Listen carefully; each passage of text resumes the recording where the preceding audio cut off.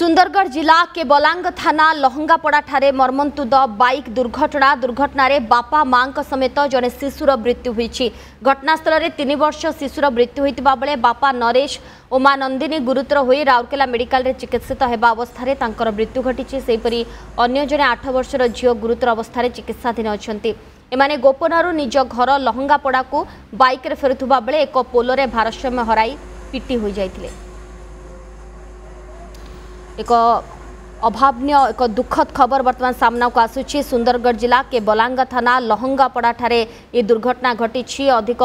ସୂଚନା ପାଇଁ ଆମ ବଡ଼ାଇ ରିପୋର୍ଟର ପ୍ରଦୀପ ତ୍ରିପାଠୀ ଆମ ସହିତ ବର୍ତ୍ତମାନ ଯୋଡ଼ି ହୋଇଛନ୍ତି ପ୍ରଦୀପ କିଭଳି କେଉଁ ପରିସ୍ଥିତିରେ ଦୁର୍ଘଟଣା ଘଟିଲା ବର୍ତ୍ତମାନ କ୍ଷେତ୍ରରେ ଯାହାଙ୍କର ଚିକିତ୍ସା ଚାଲିଛି ତାଙ୍କର ଅବସ୍ଥା କିଭଳି ରହିଛି ପୁରା ଘଟଣାକ୍ରମ କ'ଣ ଦେଖନ୍ତୁ ସୋନାଲି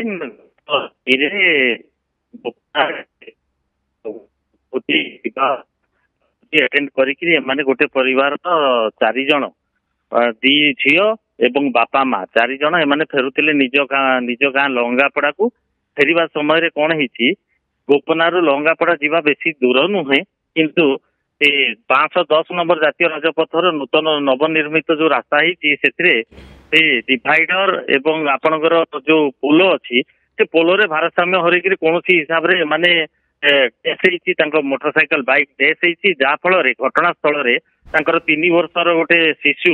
ସେଇଠି ଘଟଣାସ୍ଥଳରେ ତାର ମୃତ୍ୟୁ ଘଟିଥିଲା ବାପା ମା ଅନ୍ୟ ଜଣେ ଝିଅ ଯୋଉ ଆଠ ବର୍ଷର ଝିଅ ସେମାନେ ବହୁତ ଗୁରୁତର ଭାବରେ ଅସୁସ୍ଥ ହେଇଥିଲେ ତାଙ୍କୁ ପ୍ରଥମରେ ଲହୁଣୀପଡ଼ା ଡାକ୍ତରଖାନାରେ ତାଙ୍କୁ ଭର୍ତ୍ତି କରାହେଇଥିଲା ଏବଂ ସାଙ୍ଗେ ସାଙ୍ଗେ ରାଉରକେଲା ତାଙ୍କୁ ଚିକିତ୍ସା ପାଇଁ ସ୍ଥାନାନ୍ତରିତ କରାହେଇଥିଲା ଆଜି ସକାଳେ ତାଙ୍କ ଦୁଇ ଜଣ ବାପା ମାଙ୍କର ବି ମୃତ୍ୟୁ ଘଟିଛି ଏବଂ ଝିଅ ଅତ୍ୟନ୍ତ ସଙ୍କଟାପନ୍ନ ହିସାବରେ ବର୍ତ୍ତମାନ ଅଛନ୍ତି ସେ জেপি ହସ୍ପିଟାଲ ରାଉରକେଲା ଜେପି ହସ୍ପିଟାଲରେ ସେ ବର୍ତ୍ତମାନ ଚିକିତ୍ସାଧୀନ ଅଛନ୍ତି ତାଙ୍କ ଅବସ୍ଥା ବହୁତ ଗୁରୁତର ରହିଛି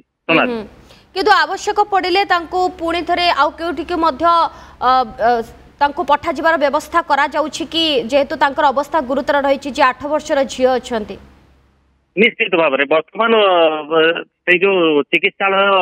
কর্তৃপক্ষ তাঁর বর্তমান সুদ্ধা কোণী এইটারে হইযিব বলে সে কৌছেন যদি দরকার পড়ে আবশ্যক পড়ে তাহলে তাঙ্কু অন্যত্র স্থানান্তরিত করা বর্তমানে কিন্তু তাঁর অবস্থা অত্যন্ত সংকটাপন্ন রয়েছে তাঁর সেন্স বি না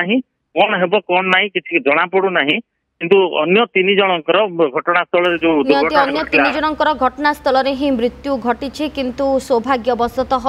ଯିଏ ଆଠ ବର୍ଷର ଝିଅ ସିଏ କିନ୍ତୁ ଗୁରୁତର ଅଛନ୍ତି ତାଙ୍କର ଏବେ ଚିକିତ୍ସା ଚାଲିଛି ବହୁତ ବହୁତ ଧନ୍ୟବାଦ प्रदीप आपण समस्त सूचना